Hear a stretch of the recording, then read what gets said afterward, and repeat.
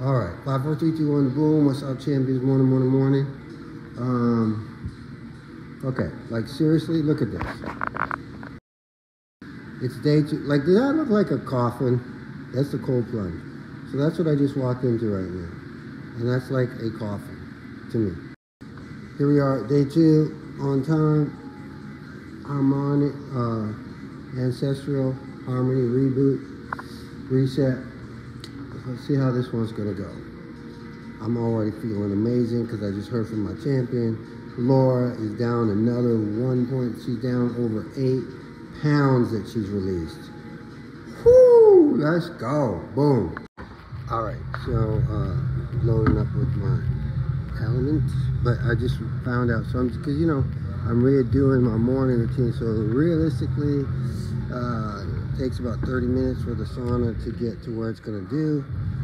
So what I'll do is I will, uh, I'll do a little bit of my, uh, I'll get on the treadmill first, do some walking up in here, and then gives me time to listen to some more worship music. Then by that time I'll go into the, the sauna, and then the cold plunge. And then I'll do my workout. Still good. It's all good. Do not leave home without it. Right there. That's bomb. All electrolyte drinks are not even close to being the same, okay? So do not kid yourself. Especially when you want to start, nobody ever seems to be able to get the tear right when they have, I would love somebody to get the tear right on their products. I'm just saying but it's all good. Improvise adapt overcome. Alright?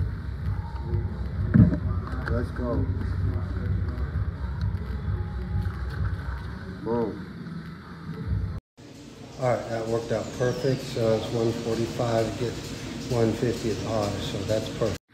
Alright, champion, so 442. Just getting used to this new time schedule. So normally I would have well into my ab exercise. So how do you know any change is challenging? Some of them are more, but change is change. And I actually welcome change because this is, it takes me out of my routine. And the body, I call it the adaptive syndrome, is really, really intelligent. Um, also, like, as I'm looking at, like, come on, hold on. Tell me that does not look like a freaking coffin. It looks like a coffin to me. That's the freaking cold plunge. I've never seen it like that. And like like like that big coffin, we open it up and there would be a dead person inside of it. I hate that freaking cold plunge. And because I hate that freaking cold plunge, I love that freaking cold plunge. Because I want to do stuff that I do not like. I don't do stuff I like burpees, you know, running the stairs. Like I do stuff that I literally need to psych myself up to do it because I hate it so much. Because that's challenged me. That's how I should make decide my workouts. You know, what what do I not like? What are my least favorite exercises?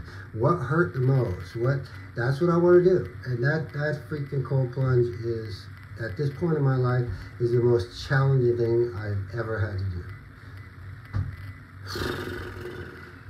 I'm excited, but I'm like, oh, I will conquer that. So here we go. Sauna time. At least 20 minutes. I remember the first time I came in here, I looked at the clock, 20 minutes, and Coach Leah said 20 minutes. I was looking, I was one minute in, I was like, you're out of your freaking mind, dude. Like, what? You, how, how am I going to sit here for 20 minutes?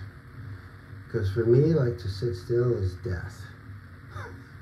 it actually used to give me. I remember the first time I went to a yoga class, and I, like, I literally had a panic attack, just being quiet and breathing. So obviously, I needed to work on that, and I did. So now I've already worked on this. I've already, I think last time, yesterday in the sauna, I think I did over 30 minutes. So I'll see you soon. All right, love you guys. Boom.